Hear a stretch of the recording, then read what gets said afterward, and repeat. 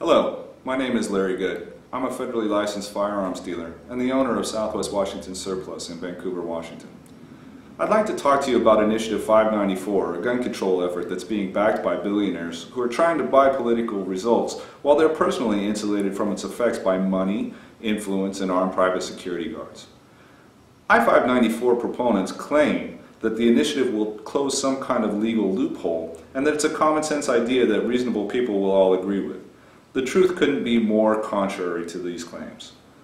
594 is supposedly a universal background check that will prevent criminals from purchasing firearms.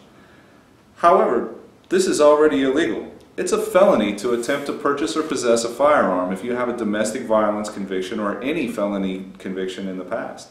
Criminals still acquire firearms, and it generally isn't from you or your neighbor selling them a gun.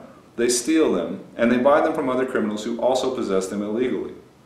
What I-594 actually does is penalize law-abiding people like yourselves who are trying to do things the right way. It adds a costly burden in terms of time, paperwork, and money to exercise a fundamental civil right to self-defense. It criminalizes ordinary behavior, which has been perfectly legal, common, and necessary for our entire lives and the whole history of our country.